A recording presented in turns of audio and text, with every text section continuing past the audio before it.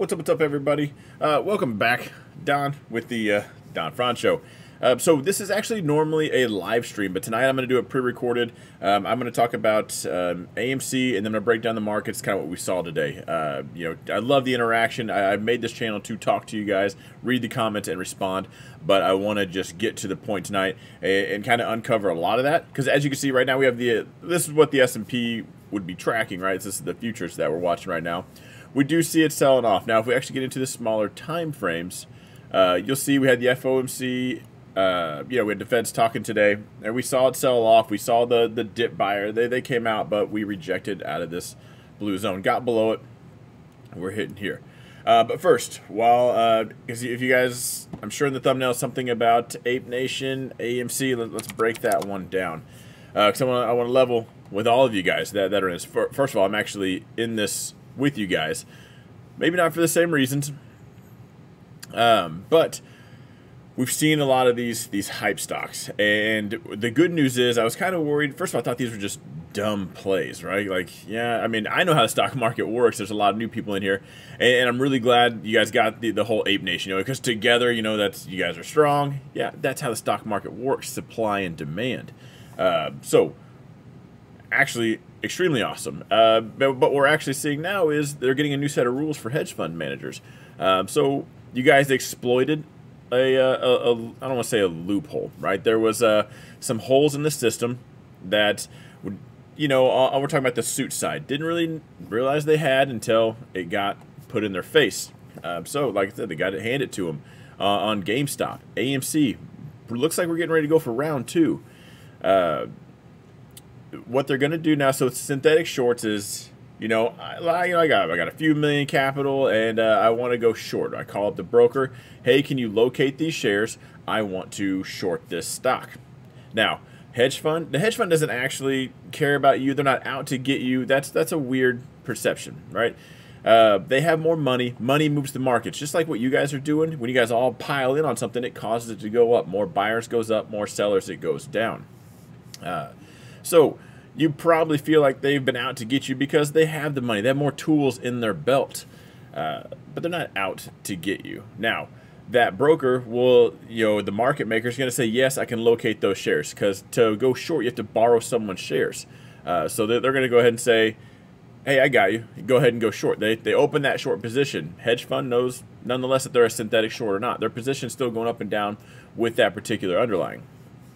Uh, what we're the, the problem what we're getting is is a kind of a lazy foot at the door, like where they're like, yeah, yeah I got you. Now, uh, so I'm I'm the market maker. Don't worry, I got you. Go ahead and short that position. We got you open. Your buddy calls up. He wants to short too. Don't worry. It's a popular ticker, pretty high float. I got you. Without actually locating it, and that's how you get those synthetic shorts of where it's just now. GameStop was like 140 percent. You know that was very exaggerated. AMC, they could probably still find those shares, uh, but they haven't. That's what creates a lot of that, that synthetic stuff.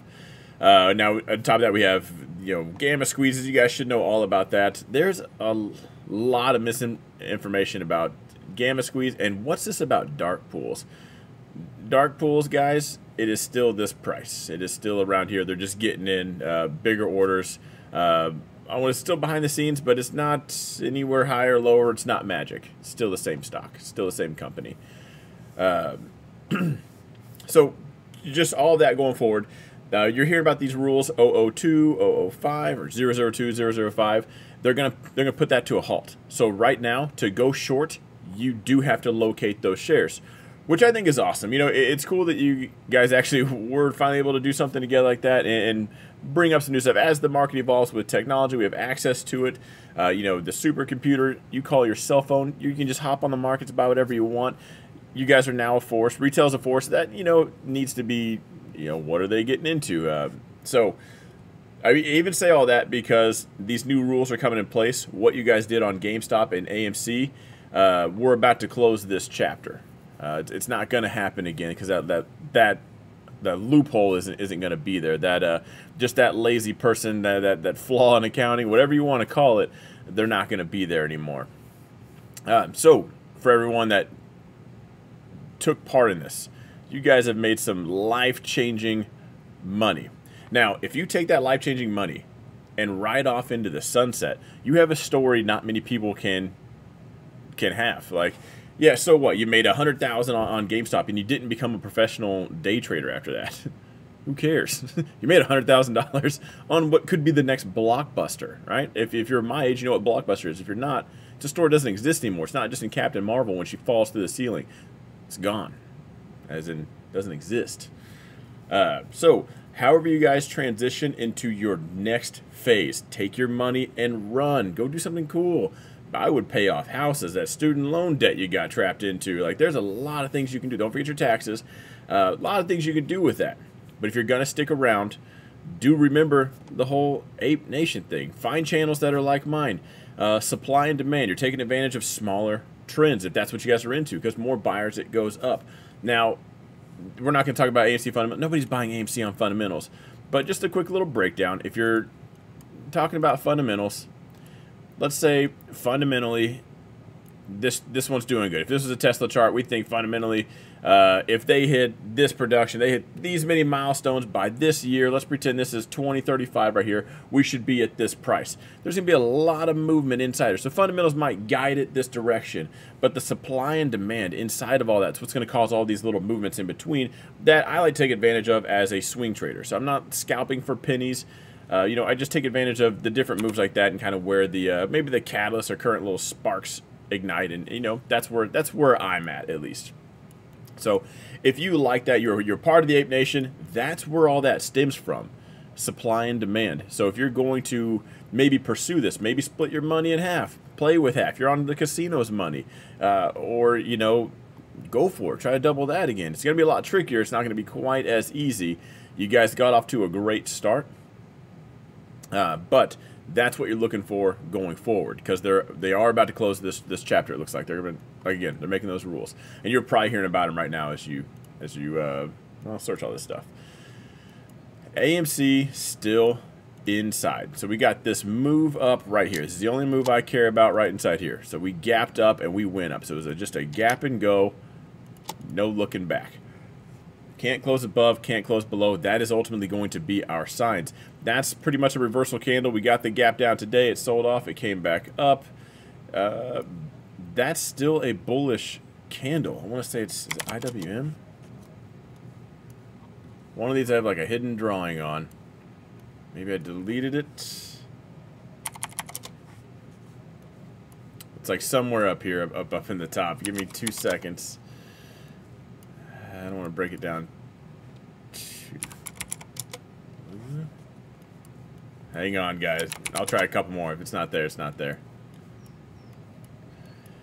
Let's just get back to it. Anyway, uh, I'll line it out real quick. I have a whole video about this. Uh, I have a whole playlist called How to Trade, uh, and all those are in there. Let's take your, your candle high, well, the wick high, the wick low. That is the whole, for this whole day, we went this high, we went this low if we close right here in the middle, pretty neutral. You know, down here, bearish. Down at the bottom, very bearish. You hear people say we close at the lows, we close at the highs. We actually closed, eh, not neutral. I wouldn't say at the highs, but we did close. That is still a bullish-ish candle. Uh, so what you want to see tomorrow is probably that that that gap up. Now uh, the Ape Nation, you guys are talking about AMC. This is the most important week because of options chains and and a gamma squeeze, and if you're buying at the money contracts, that is being hedged with actual shares by the market maker. Uh, not the $40 ones that have already been called. Right now, you can see it's at $55. So if you want to buy an options contract that the market maker needs to hedge and buy shares against, you need to be at the, the 55, the, the 60, or sorry, the 50, maybe 58, 50, uh, maybe. You got to be right at the money. Okay, they're not going out and hedging because you bought a bunch of the 145 strike. Okay, that delta is like what three, five. Delta is how many shares you control. You go right at the money, they're going to be right at 50 shares. So if that's the market telling you it's a 50-50, this goes up and down, that algorithm is saying we need to cover it or we're going to take this L. So let's get neutral delta. It's something we break down every Sunday in my Sunday live streams when we break down the actual markets. That's the expected moves we draw out. And when I talk about the market need, the market makers will get at a neutral delta. They will buy the shares to hedge your bet. They are doing that with at the money when you buy near the money options contracts. Uh, so if you guys are going to try to do that, you guys are going to try to force it on somebody, you guys think you're going to squeeze somebody out and diamond hand it up, uh, that's going to be the most effective way that happens. And that's what I'm watching for right now because that's spilling out. We, it was a gap and go inside day. So this is what I would call just a game of tug of war. Buyers and sellers. Hedge funds are probably doing whatever they can uh, to manage their positions. You guys are trying to stick it to them, trying to buy and hold. You got everybody in between doing the let's just take advantage of the move. Uh, but this tells me uh, someone's hands are about to get tired. Now that's when the game of tug of war ends. When one of these lines breaks. I thought it was going to be the uh, yesterday. Yeah, I thought here we go. Pulled back and we closed. Not the strongest sign. We did stay right in that zone. Uh, but I want to keep an eye on this. A daily close above that 63 mark might just be what sparks something off. Uh, a lot of people are probably calling this last week of resistance. If it gets above 68, it's rocking and rolling. Certainly, if it gets above this, we're closing above that daily. Uh, at that point, that's the avalanche. Uh, so, keeping an eye on that. I do want to say I am in this uh, with you guys. Not, not as much as you guys are. I'll put it that way. Um, but to be just fully transparent, I am in an AMC position, shares and contracts uh, for this exact setup. So not because of the movement, but because of this setup, and I like the way it looks. I'm playing just the chart on this one. Uh, so if you're part of the Ape Nation, now uh, I'm not allowed, I'm not a financial advisor. if you're going to recruit anybody to rally that cause, this is your time. Uh, so let's break down the markets real quick. Uh, if you were on my Sunday live stream, you guys know I took a U.S. dollar, uh, U.S. Canadian dollar forex position. Uh, that I told you guys that you know, I went short, it went down, stop went in the green. I did put my long position in there, and well, today that paid off a lot, uh, quite a bit. So if you were in a forex position, this took only a few minutes. If you agreed with me, because I'm not a financial advisor, I do not give callouts, but if you agreed with my position, this is me explaining it. Uh, you rocked and rolled you made a lot of money. So I am currently long this right now uh, and, and, just trailing it.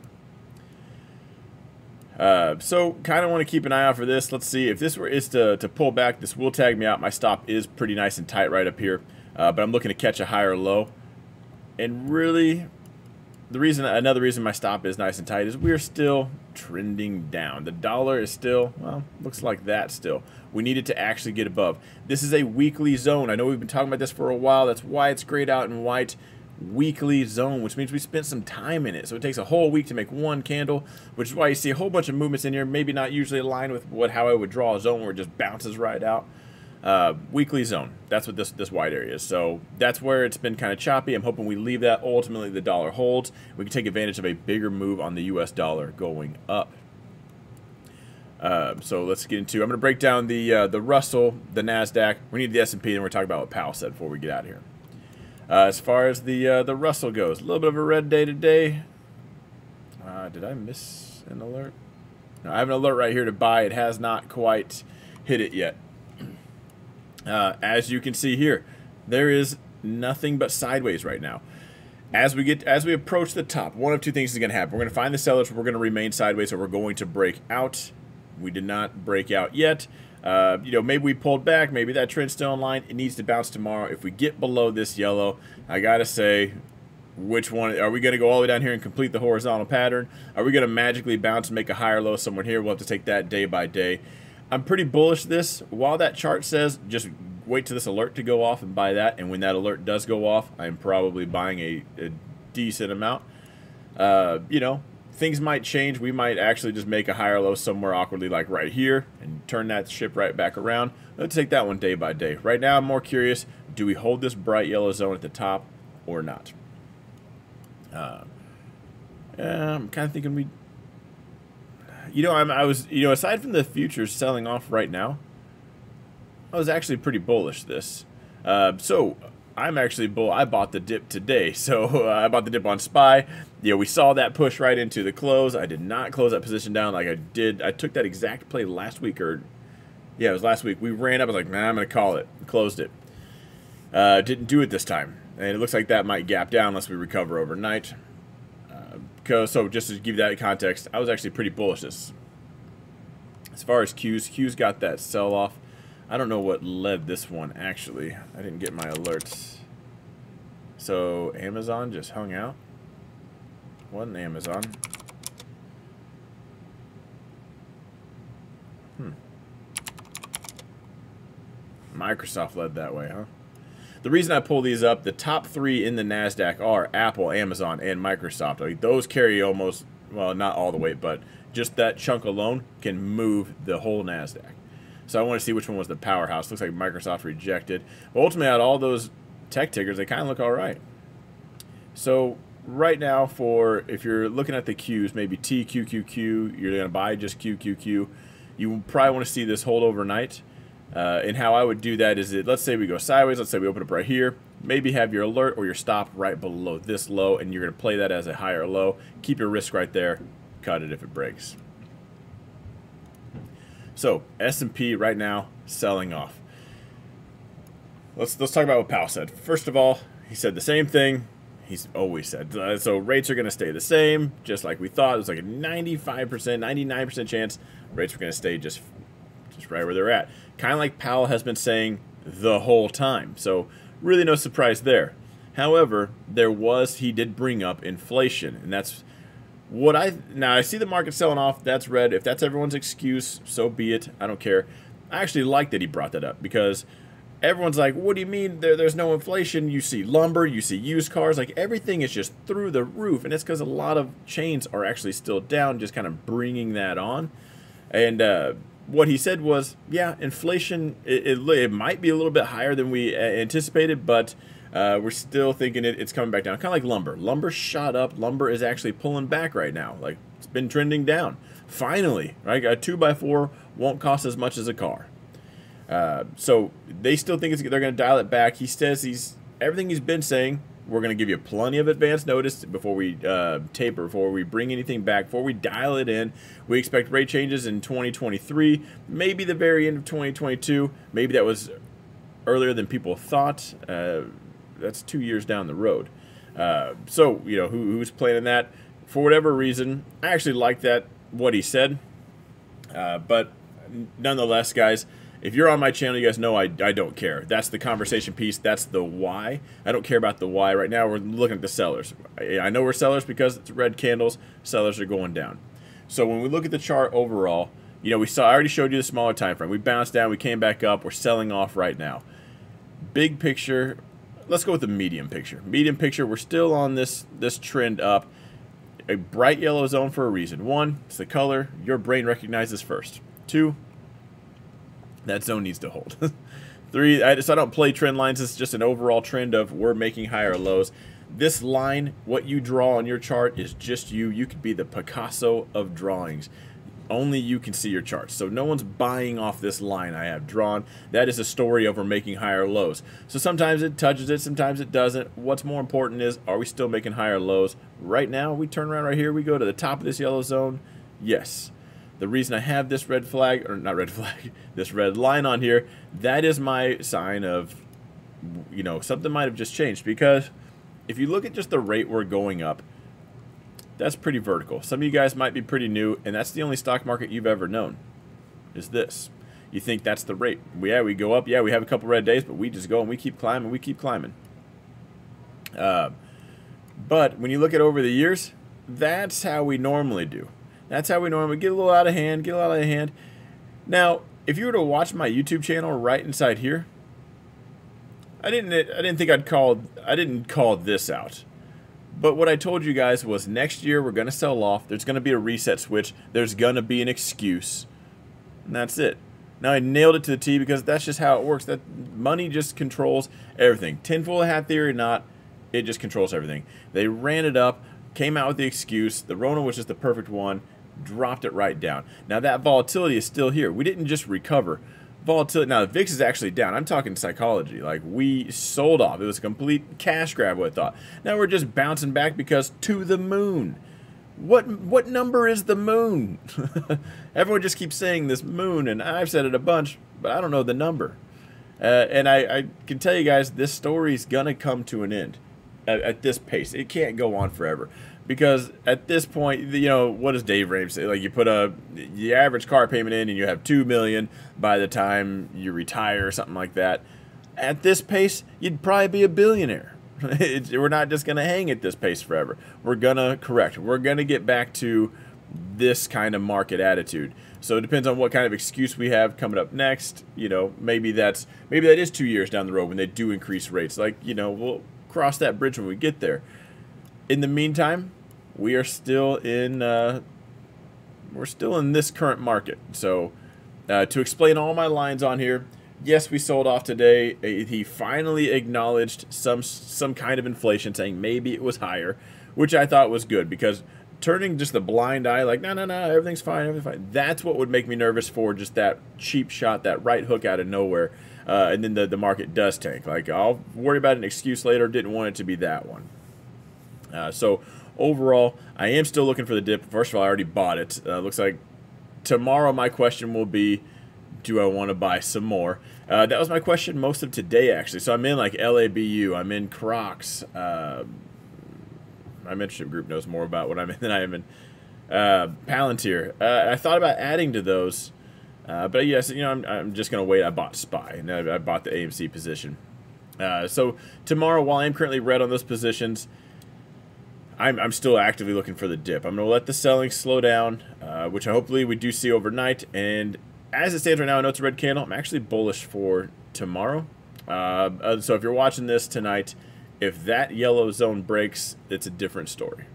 Uh, I would assume volatility. That's that's something I, I won't be able to predict tonight. Like I plan everything out the night before, and I set alerts, and then tomorrow I'll just trade from my phone when an alert goes off. So I'm usually wearing an Apple Watch or my uh, Garmin watch. An alert goes off, and I buy.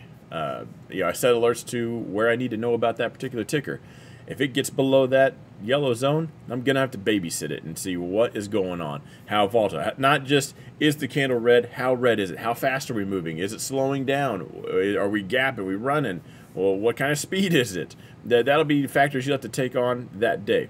I don't think it will happen, but I've seen weirder stuff before. So I, I will end it here.